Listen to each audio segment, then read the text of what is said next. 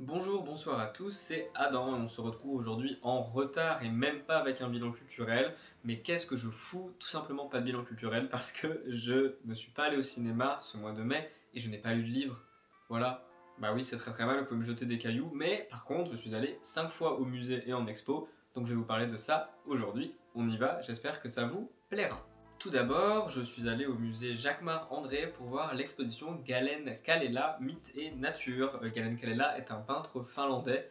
J'avais vu les affiches euh, il y a quelques temps un peu partout dans Paris avec euh, la très belle peinture dessus là. J'ai même pas regardé les noms des peintures dont je vais vous parler pour cette vidéo. Mais vous aurez les images et les noms en dessous. Je suis.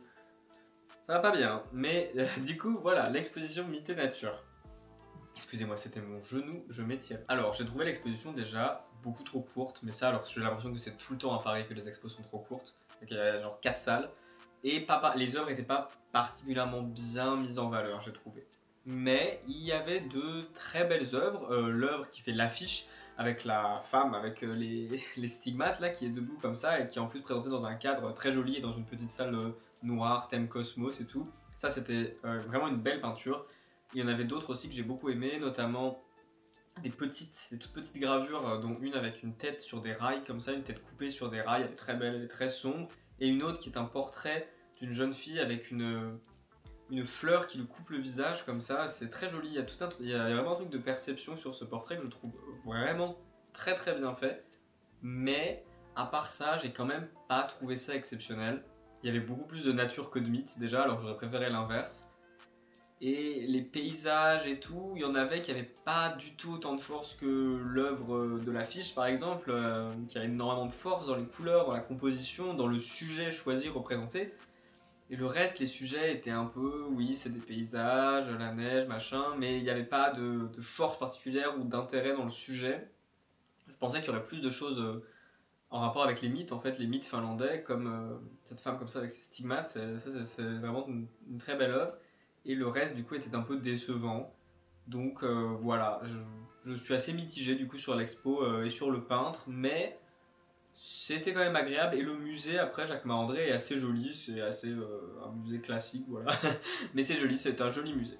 Dans la même journée, dans la foulée, je suis allé au musée Cernouchi, Cernouski, je ne sais pas, qui est juste à côté du parc Monceau.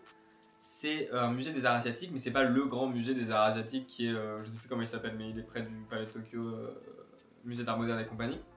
Celui-là, c'est un petit et il est gratuit pour tout le monde, pas seulement pour les moins de 26 ans, il est gratuit pour tout le monde. Donc pensez-y si vous êtes près du parc Monceau et que vous voulez faire un petit tour dans un musée ou quoi, il est là. Il est assez petit, mais on ne lui en veut pas puisqu'il est gratuit. Mais la collection est vraiment très jolie. C'est une belle collection d'œuvres euh, d'art asiatique, quoi. Il y a des, super belles sculptures, euh, il y a des, plein de petits éléments un peu incongrus, beaucoup de trucs. Euh, avec des animaux en forme d'animaux que je trouvais euh, super chouette et pas mal de choses aussi qu'on met dans les tombes, des espèces d'animaux comme ça ou de, oui, de créatures représentées qu'on mettait dans, dans les tombes. C'est chronologique, ça raconte un peu l'histoire euh, de la Chine particulièrement. Il y a aussi un peu de Japon, je crois, mais c'est quand même particulièrement la Chine. Si j'ai dit une bêtise et que c'était particulièrement le Japon, je j'annule la vidéo au montage. Euh, il y a aussi une belle salle, la salle principale, où il y a un immense Bouddha qui est en haut, en hauteur, et qui regarde la salle comme ça. C'est vraiment un, musée qui se fait euh, rapidement, comme ça, en une demi-heure, mais qui est à une belle collection et agréable à visiter. Donc, pour le prix, je recommande vachement ce musée. Surtout si on a la flemme d'aller faire un énorme musée. Euh, des fois, on a juste envie de faire quelques salles. surtout quand c'est des choses comme ça, vous voyez ce que je veux dire, genre des. Pas des œuvres artistique, enfin pas au même niveau qu'on va voir un artiste contemporain ou je sais pas un peintre, euh, un peintre de maintenant quoi. Il y a une valeur historique aussi, je veux dire, ça que je veux dire au musée. Et des fois, les musées à valeur historique, euh, ça a tendance moi à m'ennuyer assez vite, comme par exemple le musée Carnavalet, que je, je ne dirais rien, qui est assez ennuyant.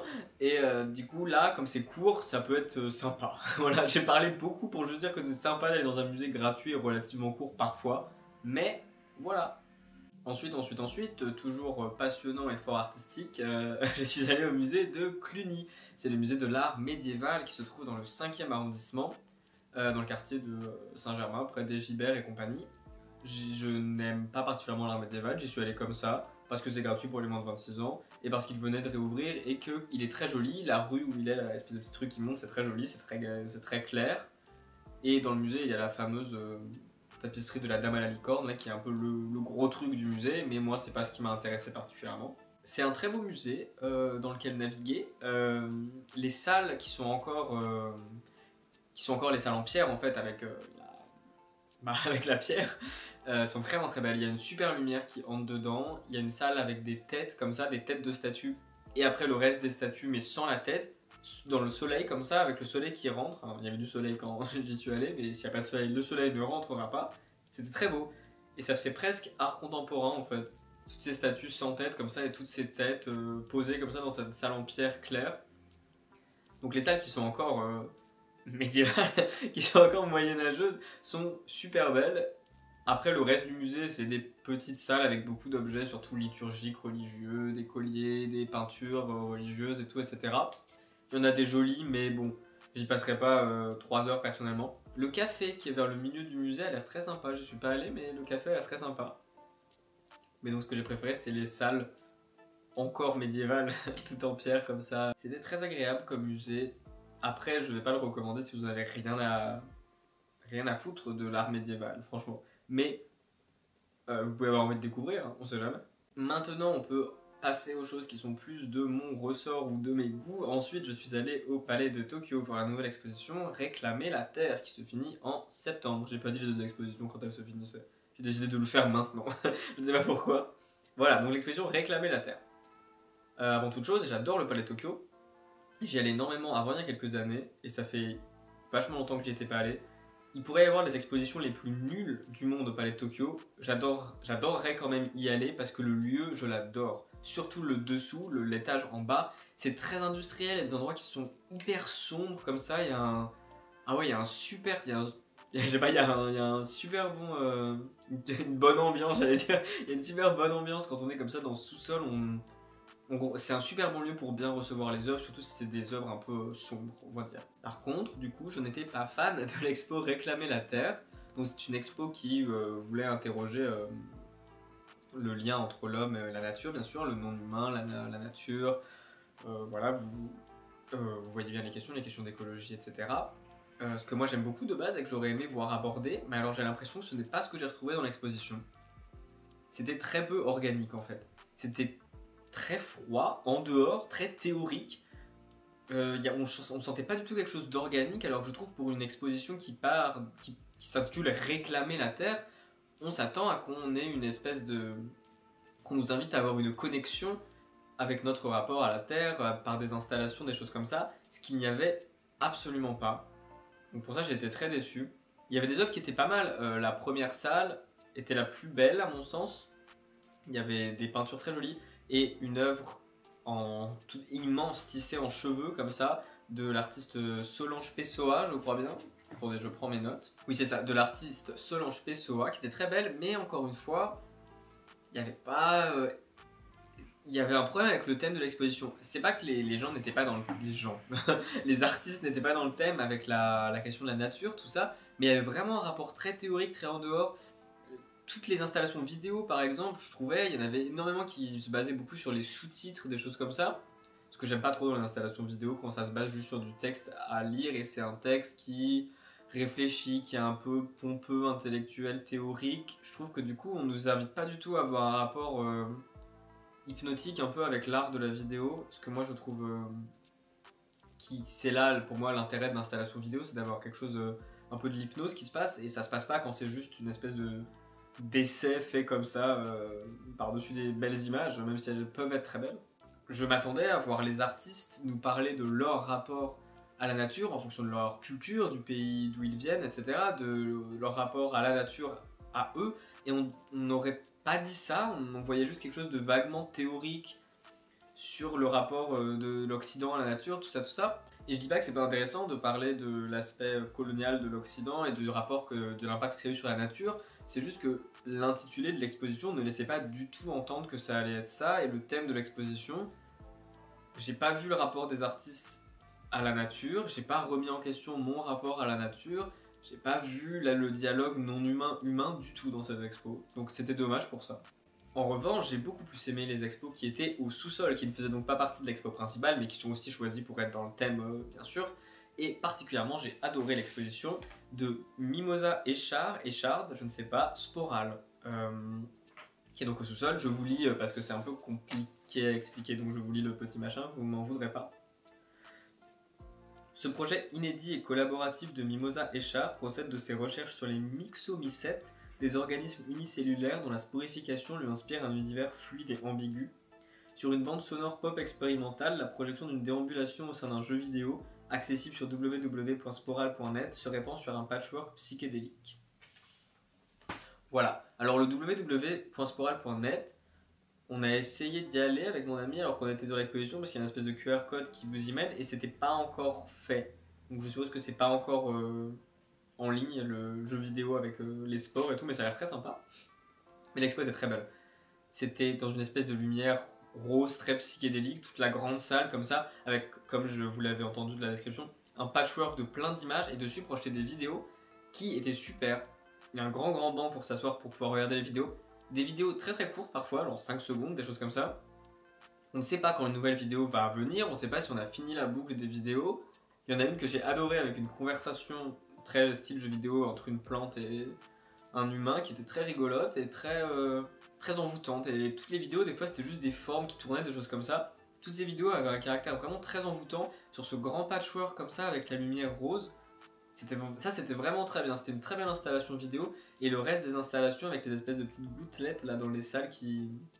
Espèce d'installation avec des gouttes qui dégoulinent. C'était très joli aussi. C'était vraiment une belle salle. J'ai beaucoup aimé cette exposition. J'ai aussi beaucoup aimé l'autre exposition qui est dans le hall du sous-sol, qui s'appelle euh, Roof for Silence. Enfin, c'est pas vraiment une, c'est pas une exposition, c'est juste deux installations, mais qui en forment une. Euh, donc, qui s'appelle Roof, Roof for Silence, conçu par Ala Wardé en collaboration avec Ethel Adnan, Adnan, je ne sais plus. Donc, Roof for Silence, c'était une installation vidéo dans un, espèce de, de c'était pas une salle parce que c'était vraiment dans le hall, c'était pas du tout fermé, mais c'est une partie qui était peinte en noir avec un triptyque comme ça de vidéos, des vidéos d'arbres dans la nuit, d'oliviers dans la nuit. La vidéo était très très belle. Le son de la vidéo était très beau et du coup c'était dommage parce que c'était dans le hall et il y avait des travaux juste à côté dans un des autres euh, endroits du hall. Donc ça enlevait complètement l'immersion dans la vidéo. Ça je trouvais ça dommage. Je sais pas trop pourquoi c'était dans le hall. Je trouvais ça pas super. Et de cette installation, en face de la vidéo, il y avait une petite chapelle comme ça. Et vraiment c'est une espèce d'installation toute blanche comme ça qui montait. À l'intérieur il y avait des, représentation d'arbres tout autour, ça faisait un cercle comme ça, avec au-dessus un, un, plafond qui faisait vraiment très chapelle, tout en vert comme ça, et quand on était au milieu, il y avait une musique qui se déclenchait. Et la composition sonore était vraiment très belle, mais c'était dommage que ce soit pas dans une salle à part où il y aurait eu une partie de la salle ou même un passage entre deux salles avec une entièrement dans le noir avec cette vidéo installation euh, très sombre avec les arbres et cette espèce de chapelle de lumière complètement à l'opposé de l'obscurité des arbres. C'était dommage que ce soit dans le hall comme ça parce que du coup les travaux gâchaient un peu le son et l'immersion euh, dans la vidéo aussi puisqu'on était quand même un peu loin par rapport aux trois écrans du coup. Donc ça c'était dommage mais c'était une très belle installation. Voilà mon opinion sur le Palais de Tokyo, je vous encourage à y aller, j'adore le Palais de Tokyo.